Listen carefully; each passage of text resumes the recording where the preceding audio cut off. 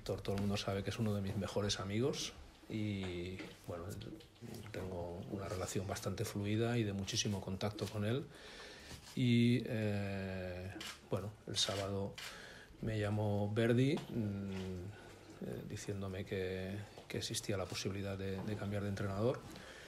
Mm, entonces le pregunté cuál era el motivo, me dijo que era un tema acordado con, con el propio Víctor.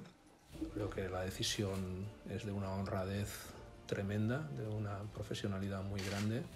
pues a intentar eh, ayudar al equipo en, lo que pueda, en lo que dependa de mí. Y quiero resaltar la palabra ayudar.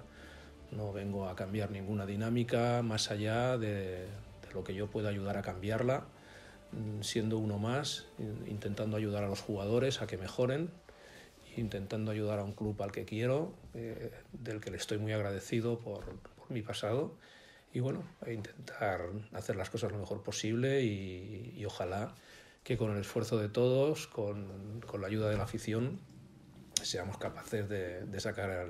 el, tema adelante en un momento complicado, con el objetivo de, de ayudar a los jugadores a que mejoren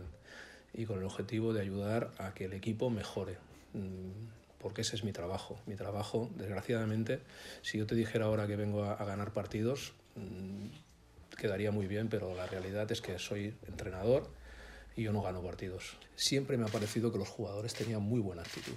de verdad, no tengo la sensación, incluso días muy malos como este último de Zalgiris y tal, los veía un poco ahí pues desfondados, con, sin respuestas y un poquito hundidos, ¿no? pero yo creo que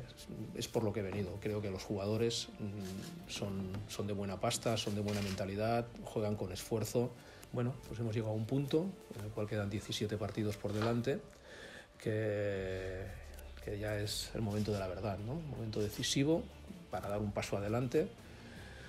y bueno, con, la, con ese ánimo de intentar ayudar a, a que el club lo dé, a, a intentar mmm, concienciar en lo que dependa de mí a, a, los aficionados para que, que, nos ayuden en este momento en el que, en el que estamos, porque de, creo que de verdad necesitamos